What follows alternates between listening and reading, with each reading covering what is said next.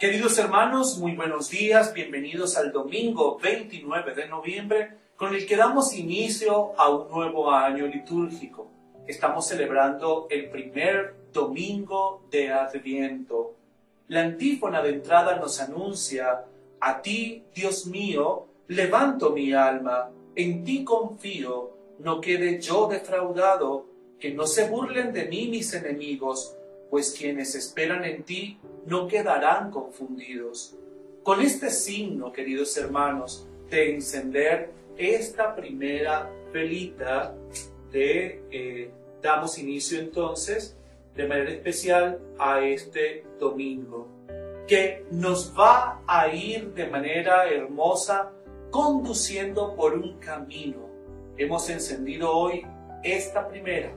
Ya luego entonces iremos viendo cómo se va encendiendo la corona de Adviento o el tronco de Jesús, ¿sí? que es otra forma también de nosotros vivir el Adviento y nos va a conducir hasta esa quinta y última veladora que nos dice Jesús ha nacido y estamos entonces celebrando la Navidad. El Evangelio que nosotros hoy escuchamos es el Evangelio según San Marcos en su capítulo 13 que nos narra. Estando ya en Jerusalén, dijo Jesús en privado a unos discípulos suyos, Cuidado, permanezcan despiertos, porque no saben cuándo se cumplirá el último plazo. Sucederá como cuando un hombre se fue de viaje y dejó encargada su casa al cuidado de sus sirvientes señalando a cada uno su trabajo y confiando la vigilancia al portero. Permanezcan pues en velas, porque no saben cuándo llegará el dueño de la casa, si al oscurecer o a, la a medianoche, al alba o al amanecer, que no llegue de repente y los encuentre dormidos. Que les digo a ustedes esto, para que permanezcan en vela. Palabra del Señor, gloria a ti, Señor Jesús.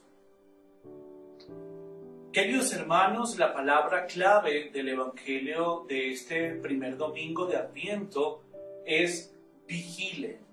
El Señor continúa a todos y cada uno de nosotros advirtiéndonos a tener una postura de vigilancia, de atención, de estar despiertos.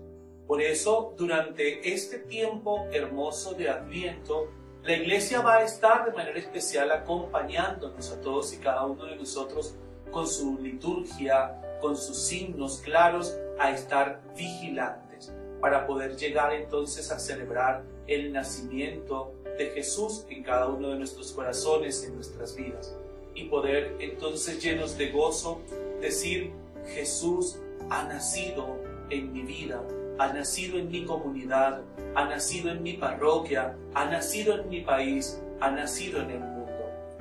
Esta vivir este y celebrar este nacimiento debe llevarnos a todos y cada uno de nosotros a estar preparados. Por eso durante estas cuatro semanas, este, casi cinco, nosotros vamos entonces a estar preparándonos, ¿sí? En oración, preparando nuestro corazón, preparándonos sacramentalmente. ¿Para qué? Para que Jesús pueda nacer. ¿sí? El mundo nos va a incitar a prepararnos a comprar cosas, a tener detalles, a tener regalos, a tener comida. Pero recuerden que no solo de pan vive el hombre, sino de toda palabra que sale de la boca del Señor. Entonces tenemos que estar pues vigilantes, tenemos que estar atentos, tenemos que estar preparados. Y qué hermoso que comencemos entonces desde ya, ¿sí? Esta preparación para iniciar con buen pie este nuevo año litúrgico que el Señor a todos y cada uno de nosotros nos regala. Pidamos entonces de manera especial la intercesión amorosa de nuestra Madre la Virgen María y de su esposo San José. Y la bendición de Dios Todopoderoso, Padre, Hijo y Espíritu Santo descienda sobre ustedes y les acompañe siempre. Amén.